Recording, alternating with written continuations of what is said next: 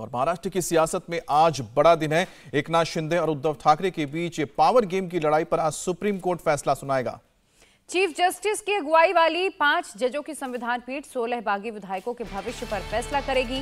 नौ दिन की सुनवाई के बाद 16 मार्च को सुप्रीम कोर्ट की संविधान पीठ ने फैसला सुरक्षित रखा था। कोर्ट के इस फैसले से यह तय होगा कि उद्धव ठाकरे का दावा सही है या फिर एकनाथ शिंदे का।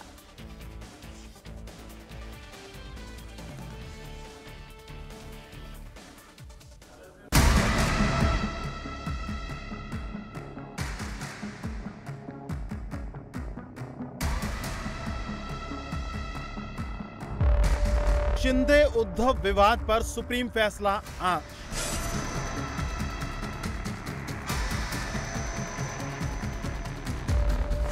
पाला बदलने वाले विधायकों का सुप्रीम कोर्ट तय करेगा भविष्य।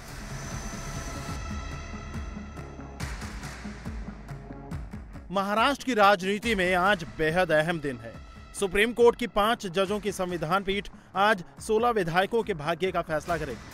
Chief justice D Y Chandrachud की अध्यक्षता वाली पाँच जजों की बेंच ने 16 मार्च को मामले पर फैसला सुरक्षित रखा था। इससे पहले कोर्ट ने 9 दिनों तक उद्धव ठाकरे गुट, एकनाथ शिंदे गुट और राज्यपाल कार्यालय के वकीलों को सुना था। सुनवाई के दौरान उद्धव कैंप ने शिंदे की बगावत और उनकी सरकार के गठन को गैर कानूनी बताया। वहीं दूसरी तरफ़, शिंदे गुट ने कहा कि विधायक दल में टूट के बाद राज्यपाल ने प्रोटेस्ट का आदेश देकर सही किया था। सुप्रीम कोर्ट के फैसले से पहले ही दोनों ही गुट अपनी जीत का दावा कर रहे हैं। सभी को फैसला उनके पक्ष में आने की उम्मीद है।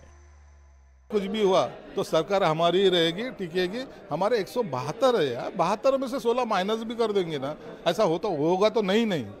लेकिन ऐसा बहुत से बहुत बुरा सोचा तो भी सरकार हमारी कायम है। सरकार को कुछ होने वाला नहीं है। हमारे सहयोगी, उनके साथ भी बहुत सालों से हमने काम किया है और वो भी चाहते हैं कि हमारे साथ जुड़े।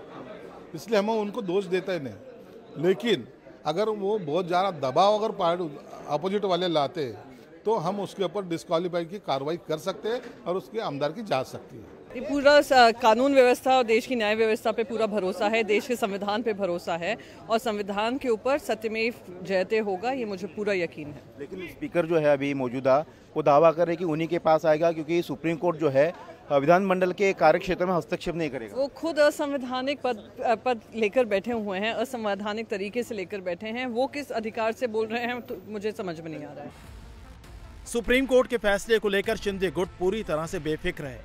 अगर सुप्रीम कोर्ट का फैसला, मुख्यमंत्री एकनाथ शिंदे समेत उनके 16 विधायकों के खिलाफ भी आता है, तब भी सरकार को कोई खतरा नहीं होगा, क्योंकि 288 सीटों की महाराष्ट्र विधानसभा की कुल विधायकों की संख्या 16 डिस्क्वालीफाई होने के बाद भी दो सौ बहत्तर होगी। ऐसे में बहुमत के लिए एक सौ सैंतीस विधायकों का समर्थन ज़रूरी होगा।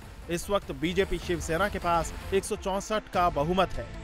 एक में से 16 विधायक डिस्क्वालीफाई भी हुए तो संख्या वाले 148 होता है। इसीलिए सरकार को खतरा नहीं होगा। महाराष्ट्र सरकार के अस्तित्व को कुछ भी धोखा नहीं, हमारा अस्तित्व आबादित है। कोई भी ऐसा निर्णय नहीं आएगा जो महाराष्ट्र सरकार को धोखा दे।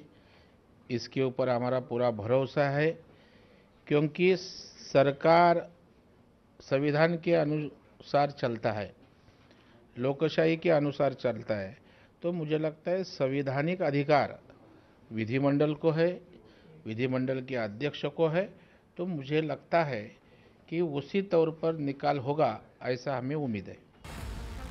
वहीं उद्धव गुट शिवसेना संविधान का हवाला देकर सुप्रीम कोर्ट से न्याय की उम्मीद कर रहा है। पार्टी नेता आदित्य ठाकरे का कहना है कि हर दल यहाँ दल दल का निर्माण कर रहा है। हर एक दल दलदल निर्माण कर रही है। बयान करके मैं उसमें जाना नहीं चाहता, हमारा न्याय देवता पे पूरा विश्वास है। और यही है कि जो संविधान को हम, जिस संविधान के हम पूजक है, उसी को अगर लेके जाए आगे तो मुझे लगता है ये देश की भलाई होगी। 2022 में एक नाथ शिंदे की अगुवाई में विधायकों की बगावत के बाद मुख्यमंत्री उद्धव ठाकरे को इस्तीफा देना पड़ा था। इसके बाद एक नाथ शिंदे के नेतृत्व में नई सरकार का गठन हुआ था।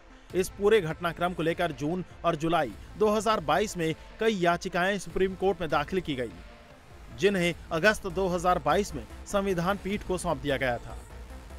शिंदे की बगावत से लेकर अब तक महाराष्ट्र की राजनीतिक परिस्थितियाँ काफ़ी बदल चुकी हैं। इस वक्त बीजेपी के समर्थन में शिंदे की बहुमत वाली सरकार महाराष्ट्र में है। चुनाव आयोग भी फैसला दे चुका है कि शिंदे की शिवसेना ही असली शिवसेना है। एक नाथ शिंदे सरकार को तभी खतरा हो सकता है जब संविधान पीठ यह तय कर दे कि जिस समय शिंदे और उनके विधायकों ने सरकार बनाई, उस समय वह विधानसभा की सदस्यता के अयोग्य थे। इंडिया टीवी, हर वक्त, हर जगह। डाउनलोड करने के लिए सर्च करें India TV news, Google Play Store या एप स्टोर पर।